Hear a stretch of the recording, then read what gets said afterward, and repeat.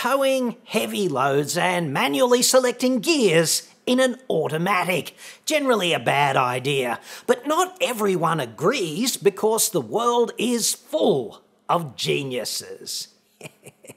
Just ask Dunning and Kruger.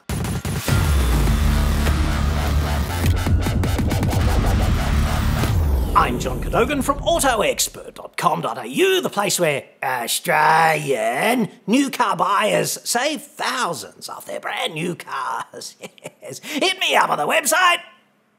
Firstly, re automatic gearboxes. It disagree with your comment re not using the gears. In my experience, using the gears to firstly slow down, saving brakes when you really need them, and pre-selecting a low gear to hold the power band on steep inclines before starting the ascent and slowing down saves momentum and stress in the vehicle.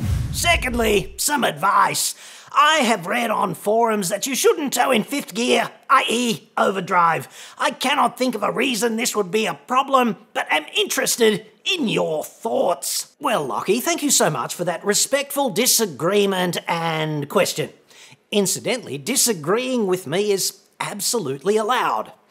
As someone with a PhD in sociopathy, I don't actually give a shit if you agree with me or not. I won't even spend a nanosecond pondering it. It never even occurs to me to question how people feel about these reports. I mean, come on just for context, okay, this is a comment from my recent heavy towing report, which was representative of a whole bunch of comments and questions that people made, okay? And I've wanted to address them for some time. It's in three parts, okay? A, using the transmission as a substitute for the brakes generally. And B, holding the vehicle in the so called power band on ascents. And C, why overdrive might be a bad idea when you are heavy towing. So let us do them in order, shall we? There's a novel approach. On descents, okay? I would retort that brakes are cheap. Cheap, okay? Pads are cheap. Rotors are even pretty cheap these days. Transmissions, on the other hand, are expensive. They're break the bank expensive in many cases. Transmissions on cars, not really designed as a substitute for brakes. Therefore, you got to use the brakes to slow the vehicle to the desired speed, not the transmission.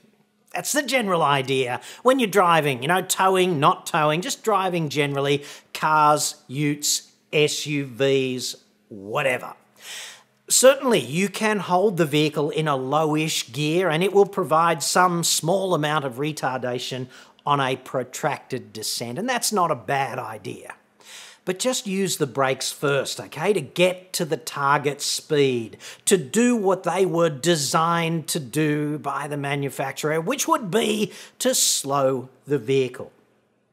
Using the transmission as a substitute for the brakes is. Uh, what's that word?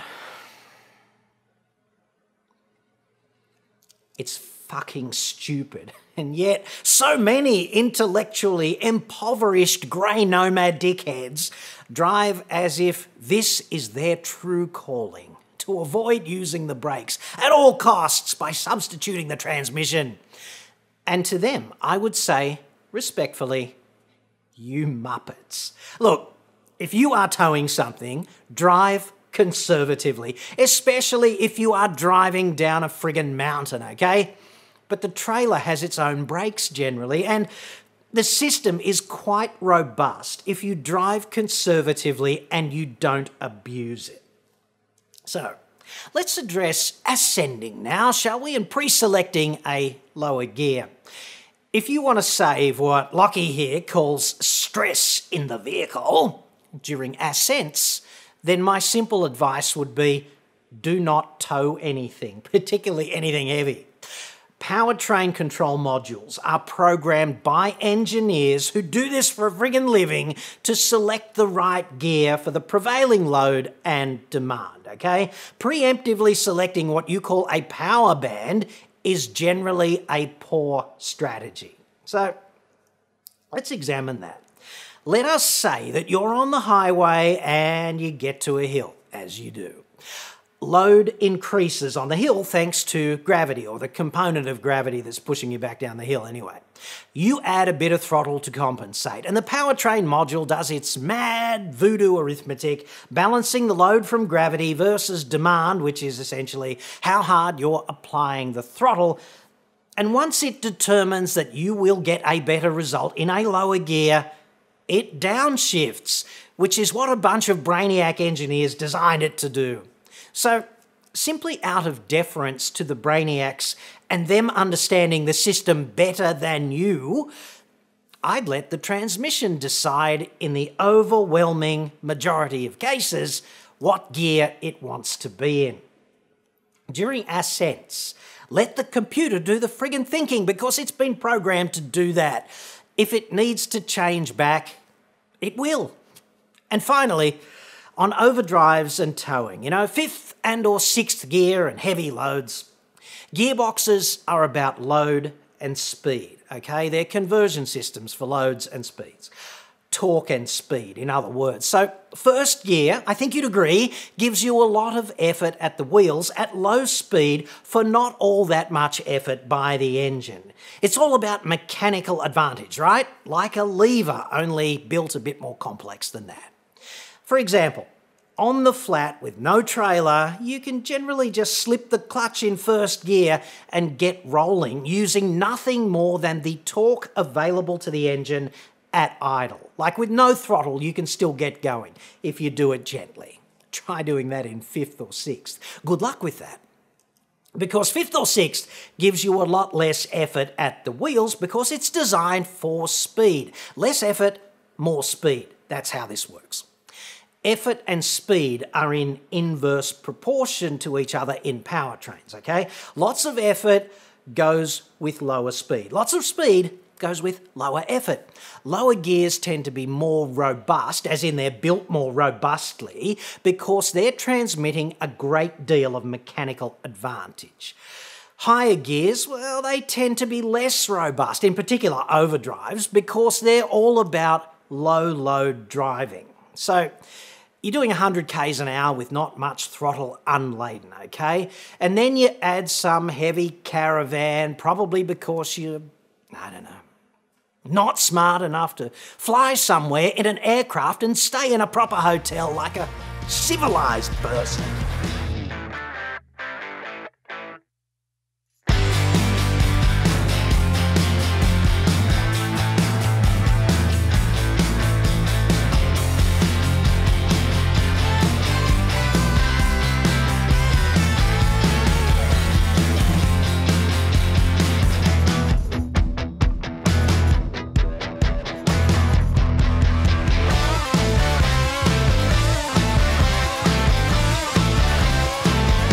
This report, of course, proudly sponsored by Resorts, the alternative to caravans for anyone with an IQ above the room temperature, even in degrees C.